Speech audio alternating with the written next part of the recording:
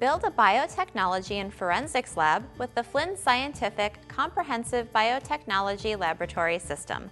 Begin with three electrophoresis chambers that are double gel units with a state-of-the-art design and safety features to prevent electrical shock. The variable voltage power supply can easily run all three electrophoresis chambers simultaneously. The microcentrifuge will allow you to spin down DNA samples and efficiently complete necessary pre-lab preparation. The transilluminator will help your students see and analyze bands on their gels to obtain optimal experimental results.